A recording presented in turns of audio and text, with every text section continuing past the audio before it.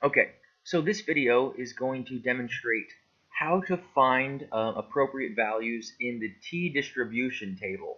So this is from Appendix B of your textbook. So when you get those problems that say use Appendix B from your book to help solve this problem, you're going to go to something like this. Now when you go to Appendix B, it's going to start with the Z, right, the standard normal distribution table. So you have that. If you scroll down, you see the T, which starts on page 633.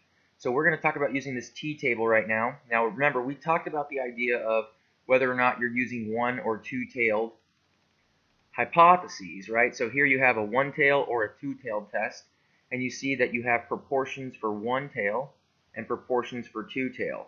And you see that the one tail values are half of the two tail here to have the equivalent t value. So in this table, these values are going to correspond to p or alpha values. So if someone told me that I needed to find the critical value, right, of t for an alpha value of a two-tailed test of 0.05, I'm going to find the two-tailed value at alpha 0.05 right here, okay? And then I need to know what my degrees of freedom for that test would be to find its critical value. So if I'm doing a two-tailed test and I had 25 people, uh, and it's a one sample test, then I have 25 minus 1 degrees of freedom, so 24 degrees of freedom. So alpha 0.05, two-tailed test, I need to find 24 degrees of freedom, and I need to find the value that corresponds to 0.05 two-tail and 24 degrees of freedom. So you see here, it would be 2.064. That is my critical T value. Similarly, if I needed to do something like you'd have to do on problem 12, which is locate the degrees of freedom for a particular alpha value and, and critical T value, you would just work in reverse.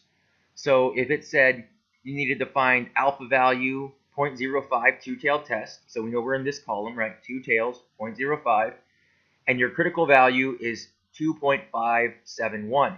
Then I would go down this column until I find 2.571. Notice these values are going to get smaller because if you have more degrees of freedom, these values are going to converge on Z, right? So your values are going to always be in descending order from top to bottom. So it should be easy to kind of locate the appropriate value. So here 0.05, 2.571 is my critical value. That corresponds to 5 degrees of freedom. So you can find any of those values in this table that you might need um, once you know at least the other two. So if you know degrees of freedom and your critical value, you can find your alpha. If you know your alpha and your degrees of freedom, you can find your critical value. If you know your alpha and your critical value, you can find your degrees of freedom just by lining up and finding the appropriate cell that matches for the row and column values. So that should help you being able to locate uh, critical values inside of the t-distribution table in Appendix B of your textbook.